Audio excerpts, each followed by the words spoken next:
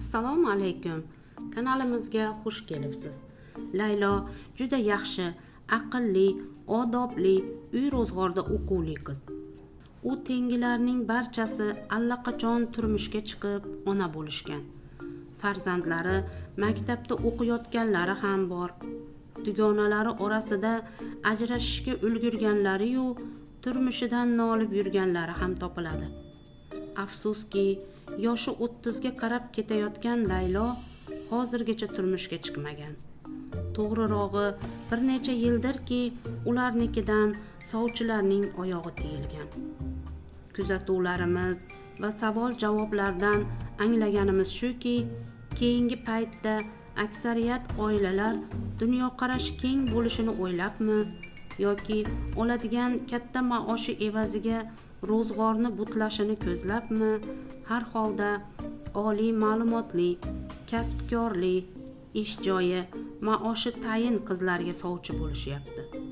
Layloga o'xshaganlarning esa hadeganda baxti ochilishi qiyin. Bolalikdan shifokorlikka havasmand layloga tibbiyot oliygohida o'qish uchun orzuning o'zi kamlik qildi. Bilimi pand berib uch yillik urinishlari behuda ketdi.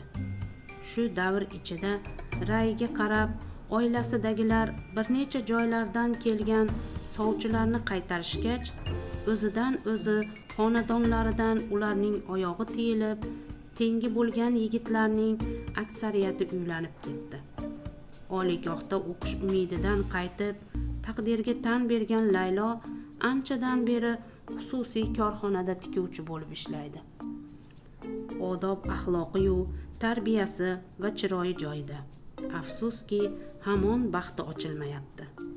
Layloni yaxshi qiz deb bilganlar uni qari qiz bo'lib o'tirib qolganiga umri o'tayotganiga achinishadi.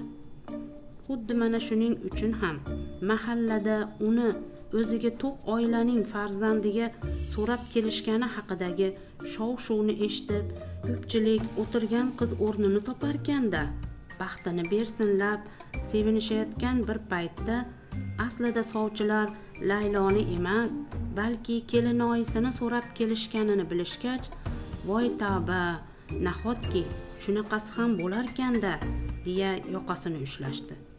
Gap shundaki layloning kelinoyisi o'ta zamonaviy xonadonning qizi edi.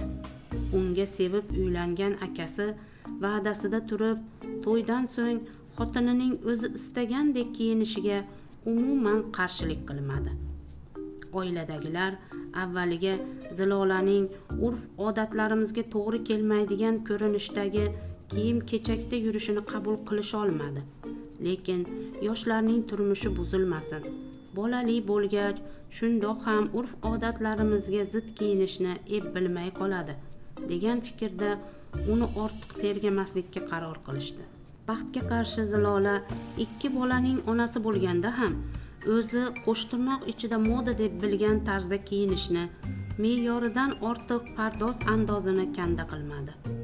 Tarki odat amri mahol deganlaridek ishxonaga turli ranglarga bo'yalib turfa xil qilib turmaklangan sochlarini ko'z ko'z qilgancha yalang bosh tor tanqis shim va kofta yoki kalta yubkalarda borardi. Qizlarnikiday kelishgan qaddi qomatiyu chiroyi qancha qanchalarning havasiyu hasadini keltirmasdi deysiz.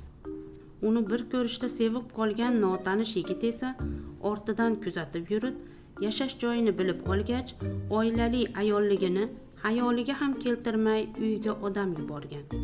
Sovchilar mahallaga kelib shu xonadonda yaxshigina qiz borligini aytib surishtirishgan. Layloning baxti ochilibdi deb o'ylagan qo'shnilar esa og'izlaridan bol tomib qiz va oilasiga yaxshi baho berishgan. Haqiqat oydinlashgach yigit layloga emas balki uning kelinoyisiga sovchi qo'ygani avvaliga rosa kulgiga keyin esa achchiqlanishga sabab bo'ldi.